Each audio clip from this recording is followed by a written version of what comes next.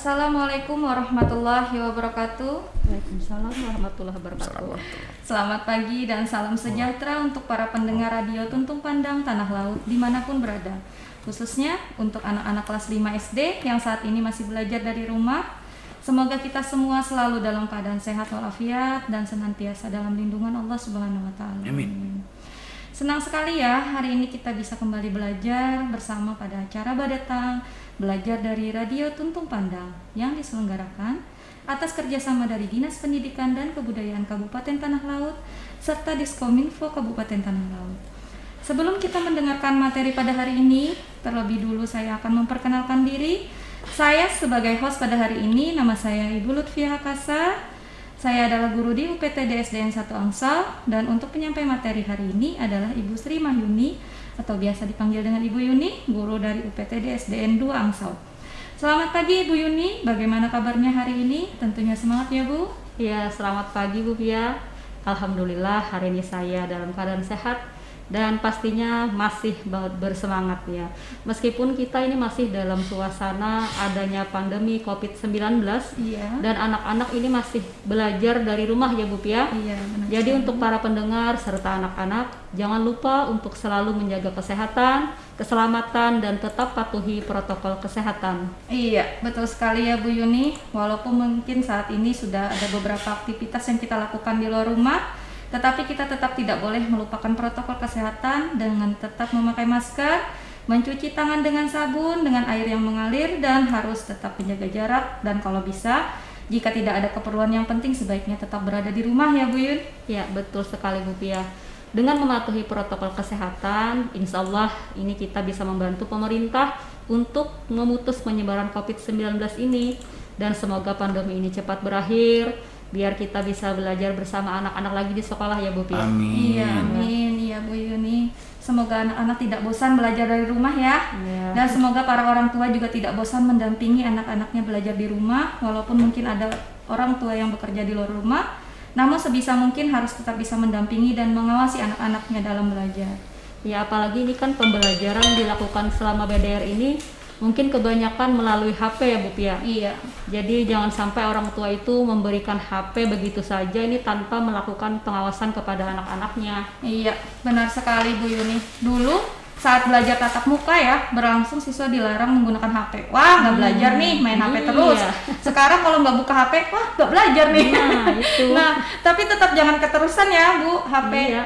Buka HP seperlunya saja. Iya. Ada batasan-batasan yang harus dipatuhi, Iya, seperti benar. jangan terlalu lama memainkan HP, karena akan merusak mata dan gangguan saraf di otak juga. Nah, itu betul. Nah, Bu Pia. sebagai info juga ya dalam minggu ini kita kehilangan dua orang guru terbaik Iya. kita dari UPTD SDN 4 Amsal, Ibu Haji Asmiah dan Bapak Basuki Rianto. Semoga husnul khatimah dan keluarga yang ditinggalkan diberikan ketabahan. Amin ya rabbal alamin. Oke, Bu Yuni, kita mulai saja penyampaian materi kita hari ini. Iya. Hari ini Bu Yuni akan menyampaikan materi apa nih?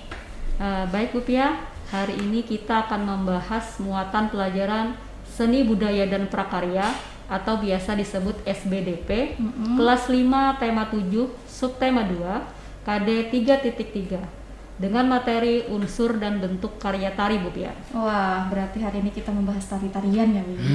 Iya, Bu Pia suka nari nggak? Eh, kalau saya pribadi suka tarian Bu Yuni, Iya. tapi suka melihat orang Hmm. menari saja. Kalau Iya. saya menari, orang lain yang nggak suka melihat saya menari. Karena tarian ini bakat ya Bu Yuni, Iya, gemulai dan benar-benar. memiliki estetika tersendiri. Iya. Kalau sembarangan itu namanya lain. Profesi yang harus memiliki keahlian khusus ya Bu Pia. Oh, oke. Eh, untuk anak-anak di rumah, jangan lupa mempersiapkan buku dan alat tulisnya ya. Mungkin nanti ada yang ditulis tentang materi yang akan disampaikan Ibu Yuni. Baik, silakan Bu Yuni. Ya, baik. Kita mulai. Assalamualaikum warahmatullahi wabarakatuh. Waalaikumsalam warahmatullahi Selamat pagi anak-anak khususnya siswa, siswa kelas 5 SD serta Bapak Ibu orang tua siswa dan para pendengar radio Tuntung Pandang Pelai Hari. Semoga kita semua dalam keadaan sehat dan masih semangat mengikuti pembelajaran hari ini. Amin. Sebelum saya menyampaikan materi, terlebih dahulu saya akan menyampaikan tujuan pembelajaran hari ini. Tujuan pembelajaran hari ini yang pertama adalah siswa dapat memahami pengertian dari gerak tari. Kemudian yang kedua, siswa dapat membedakan bentuk karya tari. Oke, anak-anak ibu sudah siap ya mendengarkan materi hari ini? Siap, Bu Guru. Ah, ya kita mulai ya. Iya. Ah, mungkin anak-anak nih Bu Pia pasti pernah melihat pertunjukan tari nih, atau Iya. mungkin mereka melakukan gerakan tari. Mm-mm. Nah, kira-kira tahu nggak anak-anak itu ya apa sebenarnya gerakan tari itu? Kira-kira apa ya Bu Pia? Gerak Hmm. tari Bu Pia? Kalau menurut saya sih gerak tari itu pastinya gerak tubuh ya saat Hmm. menari. Ah, tapi lebih baiknya dengerin Bu Yuni aja deh ya. Apa sih makna gerak tari yang sebenarnya? Iya. Baik, nah gerak tari itu adalah serangkaian gerakan indah dari dalam tubuh manusia. Nah, jadi tidak semua gerak tubuh itu bisa dimasukkan dalam gerak tari Bu Pia. Mm-mm. Jadi adalah gerakan indah dari tubuh manusia. Iya. Nah, gerak tari ini akan terasa lebih indah jika ada iringan musiknya. Wah, benar-benar. benar. Nah, musik dan tari merupakan satu kesatuan yang tidak dapat dipisahkan. Sebenarnya, musik pada tarian ini memiliki beberapa fungsi, Bu Pia. Oh-oh. Nah, yang pertama, musik dalam tari ini yang pertama fungsinya musik itu sebagai tempo gerak. Mm-mm. Nah, jadi ada gerakan lambat, gerakan cepat, itu bisa dibantu oleh adanya musik. Iya, iya, iya. Kemudian yang kedua itu musik sebagai penggiring. Nah, sebagai penggiring tari. Mm-mm. Kemudian yang ketiga, musik sebagai pemberi suasana. Nah, biasanya kan ada suasana yang gembira seperti apa, maka gerakan tarinya akan mungkin lebih lincah. Nah, Iya. seperti itu. Kemudian yang keempat, musik itu sebagai ilustrasi untuk mempertegas ekspresi atau makna tari. Oh, jadi kalau sebuah tarian itu tidak pakai musik rasanya kurang menarik ya Bu Yuni? Iya benar sekali Bu Pia. Nah seperti itu. Jadi tapi ada lagi fungsi musiknya dalam tari, yaitu sebagai simbol budaya. Nah yang dimaksud di sini adalah iringan musik dalam tarian akan selalu berkaitan erat dengan bagian dari eh, kebiasaan yang akan diingat oleh masyarakat tempat tarian itu berasal. Mm-mm. Dilihat dari perbedaannya, musik ini telah mendarah daging menjadi bagian budaya tersebut. Nah, jadi sangat beragam. Jadi bukan hanya alunan musiknya saja yang menjadi identitas suatu masyarakat, melainkan juga bentuk hingga jenis dari alat musik itu sendiri. Mm-mm. Fungsi musik dalam tarian yang lainnya adalah sebagai sarana pelengkap komunikasi. Iya. Sebab tarian merupakan salah satu seni yang membawa banyak pesan di dalamnya.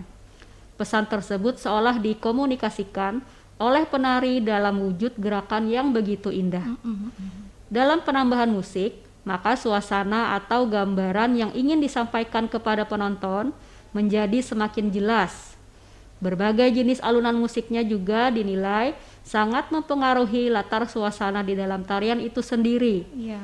Beberapa karakter suasana yang ingin dibangun dalam tari yakni berupa watak halus, keras, indah, ataupun gagah Bu. Wah, biasanya yang menonton akan terbawa suasana ya Bu. Iya. Kalau tariannya semangat berasa tambah semangat gitu Nah ya. itu bisa membawa suasana gitu tadi. Iya. Nah musik juga berfungsi sebagai pengatur tempo tadi dalam seni tari. Hal yang mendasar yang perlu dipahami oleh semua penari ialah mengenai tempo gerakan. Mm-mm. Sebab melalui tempo, alur cerita dalam tari tersebut menjadi semakin mantap dan tersampaikan. Terlebih jika tarian tersebut menggunakan musik sebagai latarnya, Iya. maka fungsi musik dalam tari yang satu ini menjadi sesuatu hal yang penting. Hampir mustahil bagi penari untuk dapat menyesuaikan, menyesuaikan irama dan menentukan waktu di setiap gerakan tanpa dibantu dengan alunan musik, di mana irama dalam tari yaitu pengatur cepat atau lambatnya dari suatu rangkaian gerak serta saling menggiringi. Oh, kayak senam juga ya Bu Nah, Yuni. Kalau nggak ada musik nggak asik dan bingung mau pindah gerakannya, Gerakannya, gimana? iya. Musiknya nggak ada.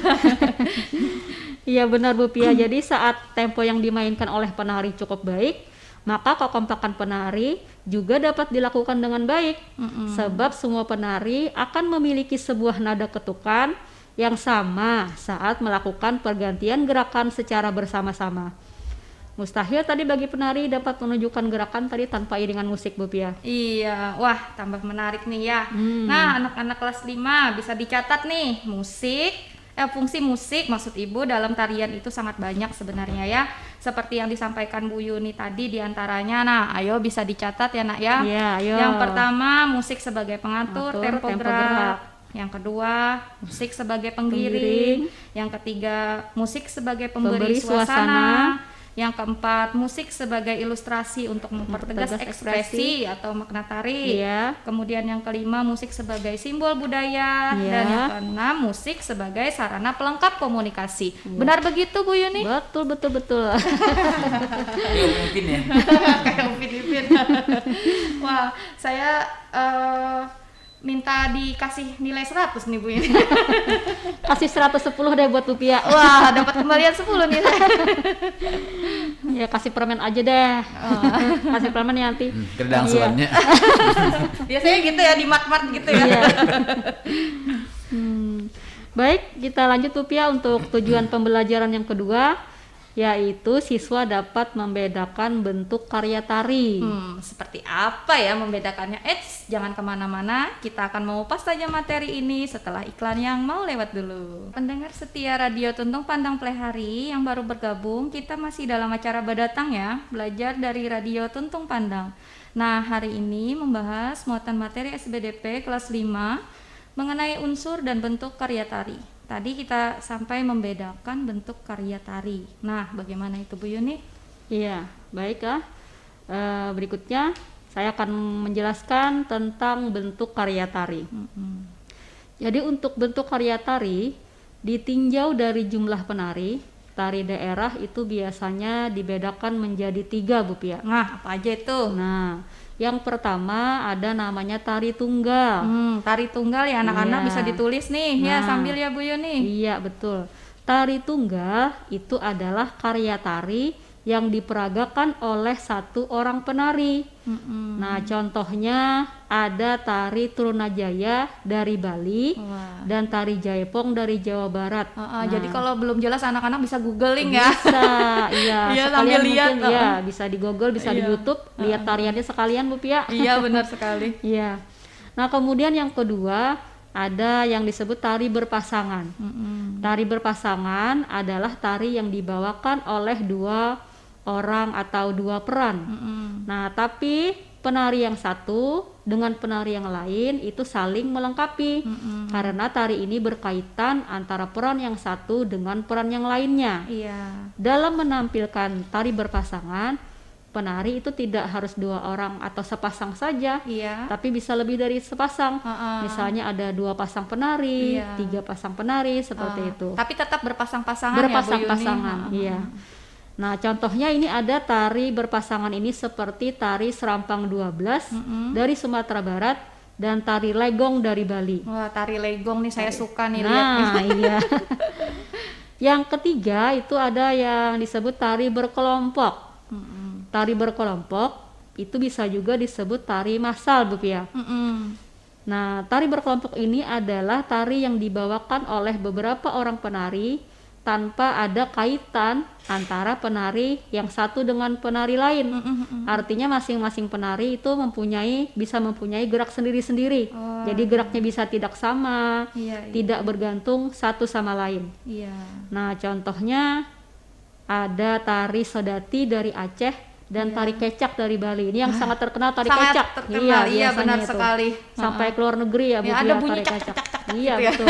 itu kebanyakan itu yang memainkan adalah para lelaki ya, para bapak-bapak. iya, benar sekali. Nah, Para- kalau misalkan kita jalan-jalan ke Bali biasanya eh, sambutannya biasanya tari kecak tari ini ya. kecak, iya. Nah, itu Bu Pia tentang unsur dan bentuk karya tari. Bagaimana menurut Bu Pia nih? Wah, ternyata negara kita ini banyak sekali memiliki macam tarian ya Bu Yuni. Iya. Tetapi sayangnya anak-anak sekarang ini sudah mulai kurang minatnya nih untuk mempelajari tarian-tarian daerah ya Bu Yuni. Iya. Mungkin ini dipengaruhi juga oleh beberapa faktor Bu Pia. Mm-mm. Misalnya kan sekarang ini media-media ini sangat kurang nih menampilkan karya seni tari nih. Ah, benar. Juga kurangnya pembimbing-pembimbing Mm-mm. yang bisa mengajarkan seni tari kepada siswa. Iya. Karena kan memang untuk menguasai seni tari itu tidak semua orang memang bisa menguasai Iya, karena harus sekali. memiliki eh, keterampilan khusus dalam menari nih Bu Pia. Iya. Nah, jadi mungkin itu bisa menyebabkan jadi minat dan bakat siswa juga berkurang. Iya. Apalagi juga mungkin sarana dan sarana di bidang seni tari musik ini juga kurang Bu Pia kita saat ini. Mm-mm. Iya Bu Yuni, tapi yang sangat diperlukan dukungan dari semua pihak ya agar Iya. menarik minat dan bakat siswa dalam seni tari.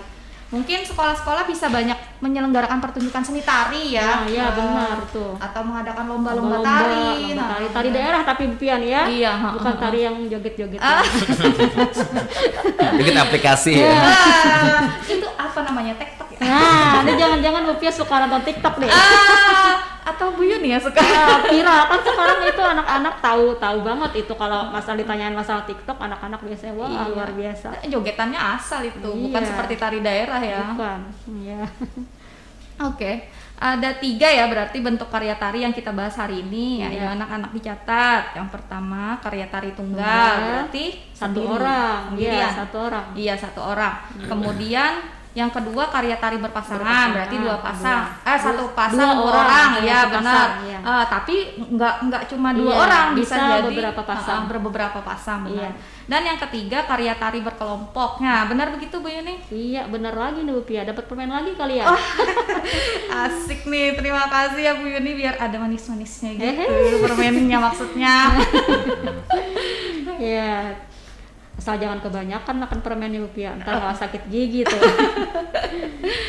nah, jadi dalam tarian itu banyak hal yang perlu disiapkan. Mm-mm. Misalnya nih mau ada pertunjukan tari kreasi daerah, maka perlu memilih bentuk karya tari yang akan ditampilkan. Mm-mm. Mau sendiri berarti karya tari tunggal. Iya. Kalau mau berdua berarti tari berpasangan. Iya. Atau banyak orang berarti itu menampilkan tari berkelompok. Iya. Kita juga harus menentukan jumlah penarinya berapa orang. Mm-mm. Jadi walaupun berpasangan bisa loh lebih dari dua orang, Mm-mm. tetap bentuk tarinya tuh berpasangan. Mm-mm. Juga tidak kalah penting kita harus menyiapkan unsur-unsur seperti gerak tari, Iya. musik, tata Iya. rias, Heeh. tata busana, Iya. properti tari dan tata panggung. Heeh. Nah, juga pola lantai nih Bu Pia harus di- diatur seindah mungkin. Wah, benar sekali nih nggak sabar nih pandemi berakhir. Biar Agar bisa kita- penampilan tari-tari gitu Ah ya, benar, agar kita bisa melihat siswa-siswi kita mengikuti lomba tari yang Iya. sangat indah. Wah, iya nih Bu Yuni.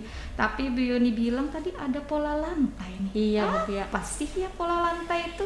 Nah, selain musik, jadi dalam sebuah tarian itu ada juga yang namanya pola lantai Bu Pia. Mm, mm, mm, mm. Seperti apa nih ya Bu Yuni? Eh, tapi tunggu dulu deh. Bu Yuni biar anak-anak juga bisa istirahat sebentar ngambil Iya. minum kah? Kita iklan dulu ya. Oke, kalau begitu. Nah, kembali lagi ya, kita ke pertanyaan tadi mengenai pola lantai. Bagi para pendengar radio Tuntung Pandang yang baru bergabung saat ini, kita masih dalam acara Badatang ya, dan saat ini kita membahas mengenai pola lantai dalam tari. Nah, apa itu pola lantai Bu Yuni? Oke, kita lanjutkan tentang pola lantai tari. Jadi, pola lantai tari adalah garis-garis lantai yang dilalui penari dari perpindahan tempat satu tempat ke tempat lain pada saat memperagakan tariannya. Pola tari ini bisa juga diartikan sebagai formasi para penari yang dilakukan sekelompok penari saat menampilkan gerakan tari. Nah, dalam sebuah tarian, pola tari itu sangat perlu diperhatikan Bu Pia. Iya. Karena itu pola lantai tari ini sangat penting untuk dipelajari. Mm-mm. Nah, berikut beberapa pola lantai yang biasanya digunakan untuk menari. Mm-mm. Yang pertama ada pola lantai vertikal. Mm-mm. Nah, pola lantai vertikal ini penari itu melakukan formasi bentuk garis lurus Iya. dari depan ke belakang. Uh-uh. Nah, atau bisa juga sebaliknya dari belakang ke depan. Iya. Nah, contohnya ini ada tari daerah yang menggunakan pola lantai vertikal ini adalah tari Yosepan dari Papua. Nah, bisa Nah, langsung googling nih. Nah, itu Tari vertikal, tari Yosepan dari, dari Papua. Papua. Nah, Ah. mereka menggunakan pola lantai vertikal itu. Iya.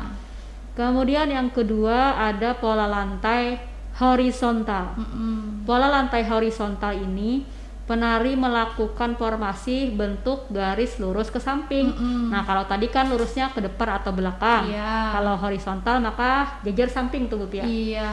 Nah, anak-anak ibu nih pasti tahu nih. Nah, Bu Pia kira-kira nih apa ya kira-kira ini contoh tarian yang menggunakan pola horizontal nih apa Ah, kira-kira ya? Bu Pia? Tunggu tunggu tunggu. Apa googling dulu ya? Wah, berarti Sambil ingat-ingat deh kira-kira Ah, ah. pernah nggak ah, seperti apa itu tarian yang bentuk Iya. horizontal? Berarti ini tariannya berbaris ke samping, Samping, ya? iya. Hmm, saya tahu nih Bu Yuni, tari saman ya dari Aceh. Nah, betul betul betul. betul lagi Bu Pia nih. Tepat sekali Bu Pia. Nah, tari saman itu dia kan barisnya ke samping menggunakan pola lantai horizontal. Tuh. iya kemarin ada uh, rekor muri apa ya yang sampai penarinya banyak sekali sampai Iya, orang benar tuh. benar. Pernah Ah. juga itu pada saat SEA Games kemarin ma- menampilkan Iya bagus Tari banget saman. itu. Bagus kan? Aduh, Wah, bangga sekali saya bangga, sebagai warga iya. Indonesia nih. Nah, jadi tari saman ini sudah tampil sampai ke luar negeri nih Bu Pia. Heeh. Iya. Suasananya kayak belajar di kelasnya ini asik banget kayaknya. Ah, apalagi kalau misalkan ini benar-benar uh, kita belajar di Kelas di sekolah. Ya, di sekolah. Aduh, Iya. rasanya sambil memperagakan gerak tarian ini anak-anak senang tuh banget. biasanya. Tapi biasanya strategi saya karena saya nih nggak bisa menari anak-anak. Iya. Saya suruh uh, lihat dulu tariannya, kemudian Iya. ayo anak-anak tampilkan di depan. Kalau gurunya yang menampilkan khawatirnya salah nih bentuk tariannya. Masa sih gini sih tariannya? Bisa tampilkan video juga kan Pia, Iya, ada video aja. video baru anak-anak disuruh Iya. mengikuti ya Bu Pia. Oh, oh, strateginya kan macam-macam guru gitu. iya. Kangen suasana itu ya Bu Pia. Iya. Oke, kita lanjut yang berikutnya Bu Pia itu ada pola lantai diagonal. Mm-mm. Pada pola lantai diagonal ini, penari berbaris membentuk garis menyudut Mm-mm. ke kanan atau ke kiri. Jadi ada di pojok-pojok tuh. Heeh. Pojok depan, kiri, kanan, bisa juga belakang. Nah, Iya. jadi seperti kalau kita seperti huruf X itu Oh, oh, menghilang. benar-benar. Nah, jadi saya seperti kira itu. diagonalnya biasanya digunakan pada matematika saja. Ternyata Pada tarian ya juga oh, ternyata pada ya, tarian Pia. juga ya. Nah, kalau contoh tariannya menggunakan pola lantai diagonal ini tari apa ya, Bu Yuni? Nah, ya untuk contoh tarinya yang menggunakan pola lantai diagonal ini adalah tari bedaya ketahuan dari Jawa Tengah. Hmm, bedaya ketahuan. Nah. Ayo googling anak-anak. ya, sekarang nih gimana ya cara kita menyampaikan kalau nggak disuruh Iya. ke sana ya arahnya atau misalkan ada buku tariannya buku kan agak tarian susah juga susah mencarinya. itu ya. materi-materinya mungkin yang dari Leb- buku mungkin kurang ya Bu Pia Iya, kita. lebih simpelnya ya kayak Iya, gitu tadi. harus cari Google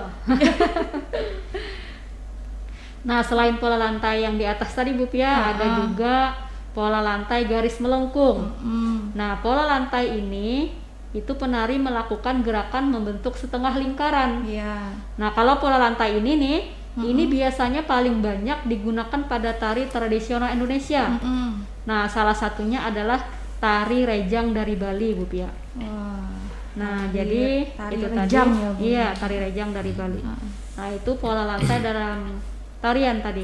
Ada pola lantai vertikal, Iya. ada pola lantai horizontal, Iya. kemudian ada pola lantai diagonal Ah, ah. dan pola lantai melengkung, garis Iya. melengkung. Garis melengkung atau setengah lingkaran Iya, ya. setengah itu lingkaran. setengah lingkaran bisa ngadep ke depan atau Bisa, bisa lengkung. cembung ya. Iya, bisa lengkungnya ke belakang, Ah, bisa ah. lengkungnya ke belak ke Ke depan. depan. ah, Iya, bisa.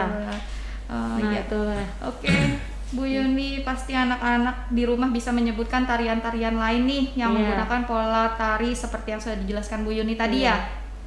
harus tuh Bu Pia harus tahu anak-anak nih tentang tarian-tarian tradisional ini yang menggunakan berbagai macam pola tari itu Bu Pia. eh, benar sekali. Nah, anak-anak kayaknya sudah dicatat belum nih materinya Eh, Iya. apa saja tadi yang kita bahas ya Bu Yuni? Iya. Eh, Oke, para pendengar radio Tuntung Pandang serta anak-anak sekalian, tidak terasa pembelajaran kita hari ini ternyata sudah selesai ya. Iya. Kita sudah mengetahui tentang unsur tari, Iya. seperti pengertian gerak tari, Gerak tari. kemudian fungsi musik Iya, pada tari, kemudian bentuk karya tari, dan pola lantai tari. Semoga apa yang disampaikan Ibu Yuni tadi bisa bermanfaat untuk Ya, anak-anak, amin. terutama anak-anak kelas 5 Iya. ya, bisa menambah minat anak-anak untuk mempelajari seni tari. Bagaimana Ibu Yuni mungkin uh, ada kesimpulan yang bisa disampaikan? Iya. Kebetulan kan Bu ini kita tidak terasa ini sudah memasuki akhir Februari ya Bu Pia. Iya. Tak terasa ini anak-anak mungkin bulan depan mau memasuki penilaian tengah semester Bu Pia. Nah, benar-benar. Nah, jadi anak-anak nih harus lebih giat belajar nih berarti nih. Uh, untuk kelas rendah itu tema berapa ya untuk ulangan tengah semester ini? Tema, Tema lima ya? sama 6 5 6. Iya. Kalau untuk kelas tinggi, berarti tema 6 sama tema 7 Iya, nah anak-anak di rumah jangan lupa uh, belajar ya, diulang lagi. iya. menjaga kesehatan Hmm. Berdoa kepada Allah agar selalu dihindarkan dari segala penyakit. Mm-mm. Nah, banyak-banyak membaca buku-buku pelajaran yang sudah dipelajari. Mm-mm. Kemudian jangan lupa ini harus selalu mematuhi nasihat kedua orang tua. Nah itu penting sekali nih. Jadi kalau misalkan walaupun di rumah Iya. eh, harus rajin tetap belajarnya ya, jangan betul. cuma karena sudah diberi kepercayaan. Kepercayaan HP. banyak sekali nih siswa Nah. kita yang dibelikan sudah HP, HP, sendiri, iya. ya.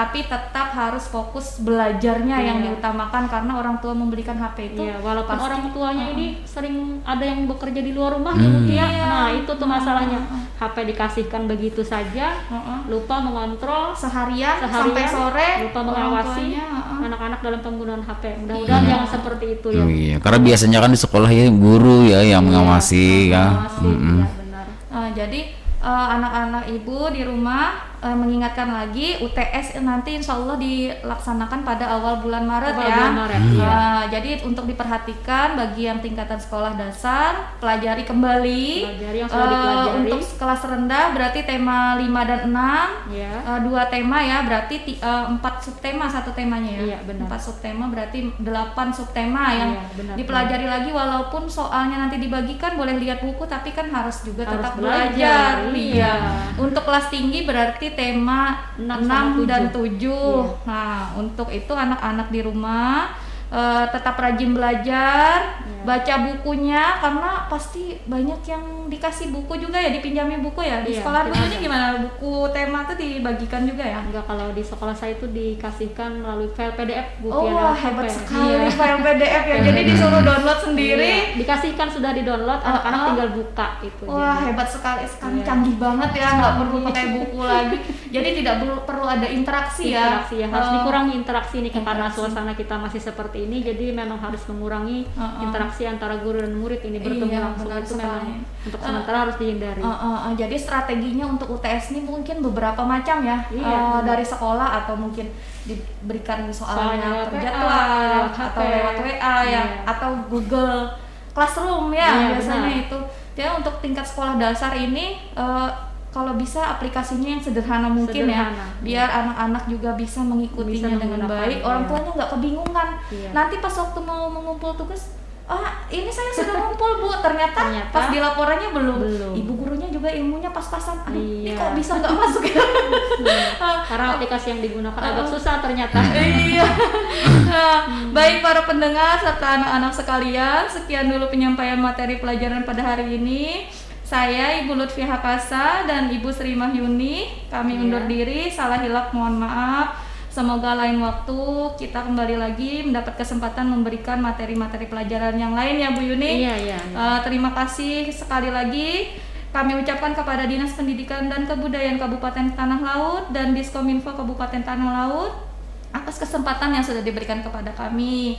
Uh, mohon maaf banget ya Iya. uh, apabila dalam penyampaian materi Iya. atau candaan kita Iya. selama acara ini ada kita- salah-salah ya Iya. Ya ada kekurangan. Ada kekurangan. Iya, dan untuk menutup acara ini marilah kita bersama-sama mengucapkan hamdalah. Alhamdulillah. Rabbil alamin. Baiklah kami akhiri dengan mengucapkan assalamualaikum warahmatullahi wabarakatuh.